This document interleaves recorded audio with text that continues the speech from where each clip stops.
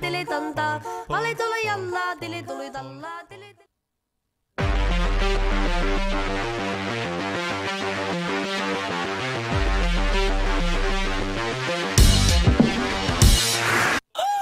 Doesn't need Storm still on feedback defense as Grubby's pulling out for perfect engagement. The Storm can bring down the Broodlord.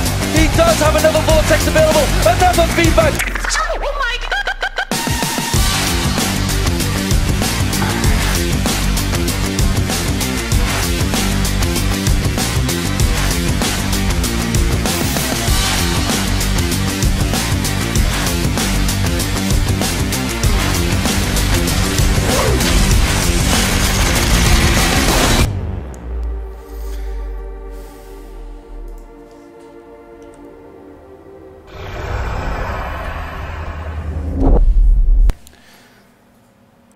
Enough with the acting. I'm going to be honest with you guys. I pulled a Stephano last night.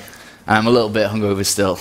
I was out in the town, and now I'm just deciding to sit in my PJs and a cup of tea and cast some StarCraft. That's all the shades are about. Um, but on to serious things. Welcome to the GD Studio King of the Hill StarCraft Heart of the Swarm Upsy Down tournament that we're doing today. Uh, I'm, of course, Apollo, joined once again with Adebisi. How you doing, man? I'm doing good. I've been better, but I'm ready for um, StarCraft. Don't you hide your pajama bottoms as well? I'm behind a desk, man. I know you've got them on. I do. So Pajama Sunday. Um, it's a relaxed, chilled out, sitting in my PJs, ready to watch some StarCraft. So this is day three of the Heart of the Swarm series that you've been watching. Day two, day one uh, was last Sunday and Thursday, and now we're into day three. So coming up to the halfway point and about to cross it here at the GD Studio. And well, what a day we have here. We have our reigning king Hyun, who's going to be taking on in the first game of the day ForGG, who's currently top 50 in the Grandmasters League of Heart of the Swarm. Uh, and straight after that, we're going to be having the Swedish Sase play, and I'm sure a lot of you are very much so waiting for Sase to be playing uh, in today's tournament. After that, we have Glon, the 17 year old American, looking for his shot, his chance, his opportunity to do well here. And then finally, last but not least, we have Polt, going to be playing last in our series today. So, a great day. Uh, we've spread $1,000 now already in this series, day two. $500 a day, and we're going to be sending off another 500 today as well. Going to be a good day. Yeah, it's going to be a good day. Uh, you, I think you kind of covered it. I wasn't listening, so I'm, You I'm not. listen to I I'm, I'm not sure exactly what you said. I don't know what to add, but uh, we're keeping the same map pool. Um, we've got both our players ready. I'm going to double check, and then I think we can get get the show on the road. Is Cool. that? Sounds good. I mean, so far we've had, uh, well, Grubby's actually the leading player within the series with three streaks in terms of uh, who's had the longest reign as king. Uh, and in second place, actually, Gosu User and Hyun tied. But is Hyun going to change that now? Because if he wins this first game, he will go on to three wins uh, in a row and equal Grubby's, if not looking to beat it. So uh, I hear the game loading. We're going to jump into game number one right away here. It's going to be for GG taking on our reigning king, Hyun, who's only in Masters. But do not let that trick you. He's good. He showed yesterday. Well, not yesterday, but our, our previous previous day, which was in fact not yesterday, but he's good. Yeah. And it's funny because everyone's kind of come to the conclusion Zerg is uh, the weakest in HOTS right now, but I mean, Violet just all killed FXO and the GSTL, and he on here has been doing fine. Gosu User did well too. Yeah, uh, you know, Hyun beat Gosu User 2-0 easily, beat Supernova 2-0 easily, and we're about to find out if that story can continue here against his first opponent of the day, down here, playing for Millennium, and of course, it's 4GG. Formerly OGS, uh, the 4GG, and is 23 years old, last name Park, Jisoo Park, at 4GG1 on Twitter if you want to follow him. And his opponent, our king, it is, of course, Quantic Hyun. On a two game streak, as you can see. 25 years old, Twitter is at Quantic Hyun, and his name is Ko Seok Hyun. Excuse my Korean. And so far, he's won 250 bucks here from us. Yeah, 250 bucks for for two games in a row. Uh, looking to get up. It's 125 dollars per win. So that's 250. Could be going up to equal Grubby today with $375 if he's able to beat out Millennium's 4GG. And I've watched 4GG stream a lot out of BC, and uh, it's uh, he's, he's pretty good at the moment. He's playing a ton of Heart of the Swarm. I think he's come up to 600 games now already, and that's a lot. He's uh, roughly like 350 wins, 250 losses, um, around there. Top 50 Grandmaster compared to Hyun, who recently just requalified into Code A, uh, Code S, sorry, uh, having won his Code A game. He's actively scouting around here, checking for any proxy stuff, because on this map, um, it's actually kind of difficult to get overlords fast to scout. I mean, you've got one that goes straight up there, but is he going to see a proxy barracks or command center anytime soon? Not really. So that's why you kind of have to drone scout on this map in fear of proxy barracks, but more so recently in fear of reapers. But as that excuse me, drone gets into uh, the main base of Hyun, he actually finds out that it's not going to be anything aggressive early, just going to be a simple command center first.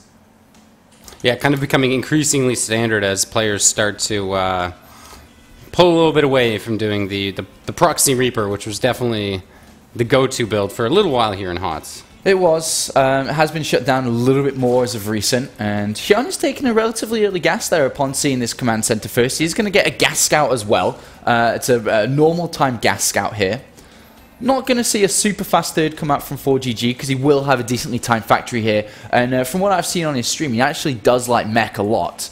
Um, you know, the, the, with the Hellions and Hellbats, mines, tanks and then going straight over into decently upgraded Vikings because they now share the upgrades with, or the plating upgrade with vehicles, which makes the transition a little bit smoother so you don't just get wiped out easily. Um, in the later stages when you do make that switch. But Hyun is a player that very much so likes his aggression Ling, Baneling heavy. Um, I'm pretty sure if I'm going to choose how he's going to play in this game from predictions, we're going to see Mutalisk play. Ling, Baneling, Muta, I think into some very, very solid play going over to Ultralisk pretty fast, I feel. But we'll see if he even gets to that point in the game. He's mining that gas. He's gone over 100, and it looks like we're going to be seeing an early Roach Warren down here by the looks of it if he's not going to get that speed. And he's going to be putting a bit of pressure on. So there's the Roach Warren coming down, and upon seeing Command Center first, he's going to be looking to build up to 8 to 10 Roaches here, put the pressure on immediately, and we'll see if 4GG can defend this. He will have Hellions out pretty fast here. Um, the and he also, uh, the way that 4GG likes to play is he does go reactor Hellion into Cloak Banshee. So he will have Banshees out. But how much will he have out? Maybe one by the time the Roaches get there, as we do have a little bit of laggy there, as it does fix itself. Three Overlords at once, and we're about to find out if this is going to work. Hyun scouts his opponent, sees no bunker early, Usually you do get a bunker quite early here, but he has got this factory coming out, and Starport should be made immediately here, and switching over that barracks to build a tech lab as well, and six roaches are on the way, seven. And every little bit of minerals he's going to get, he's going to throw into more and more roaches, so going up to nine. And it looks like Todd speaking to you, who's not on busy, you amateur observer. What, what do you mean? He's he's casting French. Oh, yeah. Amateur caster. I, I, did leave my playing settings on though, so my hotkeys are all messed up. But Aww. that's fine. All right, roaches are on their way across now. We're going to see if this is going to work. As the Starport is going to try and get down. He may have a Banshee out, but there's no bunker. There's a single Marine because he got such a fast gas early. Or not such a fast gas, but switched over for the reactor so early on. And he will get the kind of quickest scout you can get if he goes through the middle. But he's, well, is he going to, he should be checking the Xel'Naga Tower here, surely. He sees it, and now the Banshee's on its way. He's going to have to sacrifice that. He's going to have to lift up and get out of there. Try and defend in his main base for now. Behind this, we have drones being built, and most likely a third base going to go down very shortly here for Hyun. And 4GG's on the back foot already here out of BC.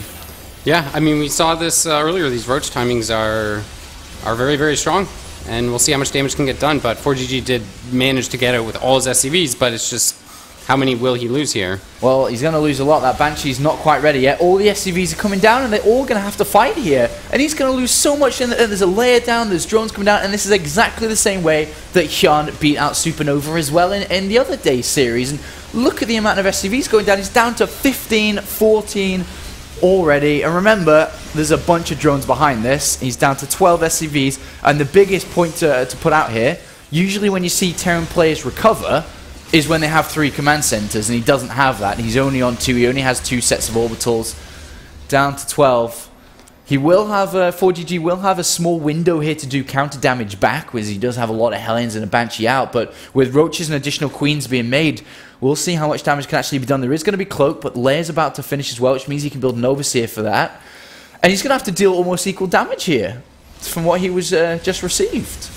We should be able to do some. Uh, actually, more roaches do start to pop out now to help defend. So these Hellions uh, shouldn't be able to do too much. Uh, it's the Banshee that's going to be the problem is the Overseer needs to be made immediately, and it does. And he's going to pick off one Queen, potentially another, and these Hellions do get in there. So he is going to be trading off a lot of drones here compared to the SCVs he did initially lose.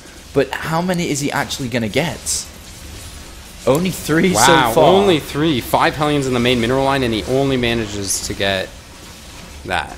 Five, six, and that's it. That's the end of it. Six, and there are a couple more Banshees coming in though, so they will keep on going down. he actually, his... he killed every queen.